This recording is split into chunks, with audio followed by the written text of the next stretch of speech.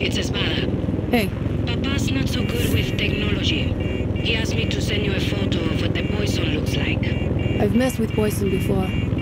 But that's real thoughtful of him. I wouldn't go that far. Papa doesn't trust outsiders, but I've seen what you can do. Check the photo. And show him you know what the fuck you are doing. Carlos, it's Danny. Danny from.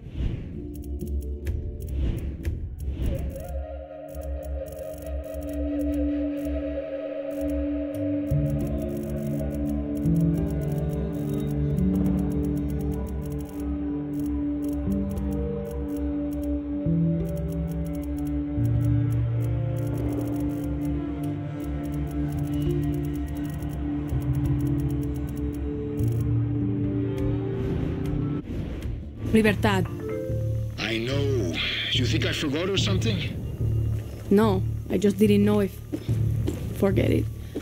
I'm coming up on some of Castillo's poison. Look for yellow containers. Crop dusters and fumigators got the poison too. Okay, I'm on it. Who the hell's flying that thing? Violet, what's your operating number? What?